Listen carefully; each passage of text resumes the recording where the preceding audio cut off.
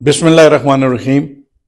मैं मोहम्मद बशारत राजा बानिय तहरीक इंसाफ जनाब इमरान खान साहब का नामजद करदा उम्मीदवार, हल्का एन ए पचपन आपसे मुखातिब हूँ।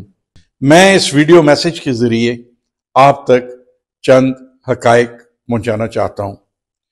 आज इस सिलसिले में मैंने इलेक्शन कमीशन ऑफ़ पाकिस्तान को भी एक तहरीरी मरासला भेजा है और मैंने उनकी तोजो मबजूल कराई है चंद ऐसे वाकयात की तरफ़ जो मेरे हलका में रोज़ाना का मामूल बन चुके हैं।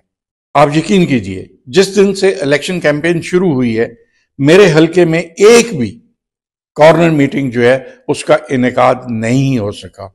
क्योंकि जहाँ कहीं हमारे कारकुन इकट्ठे होते हैं, पुलिस उनको उठाकर ले जाती है। इसी तरह रिकॉर्ड शायद है इस बात का कि पूरे हल्का एन ए पचपन में पुलिस ने मेरा एक ऑफ़िस भी नहीं खुलने दिया। और जो शख्स भी मेरा ऑफ़िस खोलने की कोशिश करता है, पुलिस रात को उसको उठाकर ले जाती है। गुजश्ता तीन चार दिन से इस सिलसिले में काफ़ी तेज़ी आई। मेरे हल्के के इंतहाई मोज़ अरकान जो हैं, उनके घरों में छापे मारे गए। चादर और चार दीवारी का तकदस जो है, उसको पामाल किया गया। उनके बच्चों को उठाकर ले ले जाया गया। और आज जिस वक्त मैं आपसे मुखातब हूँ, इस वक्त भी उनके बच्चे थानों में पाबंद सलासल है मैं चीफ इलेक्शन कमिश्नर साहब की तोजो मबजूल कराते हुए ये अर्ज़ करना चाहूँगा कि ये कौन सी लेवल प्लेइंग फ़ील्ड है कि जिस कैंडिडेट का एक ऑफ़िस न खुलने दिया जाए, जिसको कैंपेन न करनी दी जाए, जिसके कारकुनान को उठा लिया जाए तो फिर मैं समझता हूँ कि फिर मैं जनाब आईजी पंजाब का शुक्रिया अदा किए बगैर नहीं रह सकता कि जिन्होंने अपनी इंतहाई वफादारियाँ निभाते हुए ये सब कुछ होने दिया।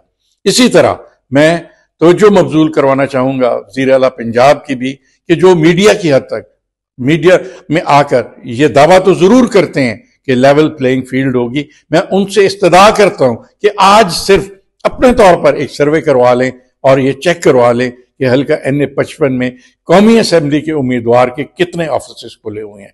एक ऑफ़िस भी नहीं है। मैं फिर इस बात को दोहराना चाहता हूँ कि क्या ऑफ़िस न खुलने से लोगों का जहन जो है उसको बदल दिया जाएगा? क्या ऑफ़िस न खुलने से या कंपेन न करने देने से लोगों के दिलों से इमरान खान की मोहब्बत को निकाल दिया जाएगा? ये कति तौर पर नहीं होगा। मैं समझता हूँ कि आज हमारे वोटर्स का ये अज़म है कि जितनी भी उनके साथ ज्यादती होती है, उतना ही उनका अज़म जो है वो पुख्ता होता जा रहा है और वो हमारे साथ कमिट होते जा रहे हैं। इन ताला, आठ फरवरी को हल्का एन ए पचपन के अवाम, कौमी असम्बली के लिए केतली पर मोर लगाकर मुझे मंतखब करेंगे और इसी तरह हल्का पीपी चौदह के लिए सरदार नासिर साहब को, जिनका इंतबी निशान मेज है, उनको मुंतब करेंगे। और हल्का पी पी फिफ्टीन, जयाद कियानी साहब, जिनका इंतबी निशान विकटे हैं, उनको मुंतब करेंगे।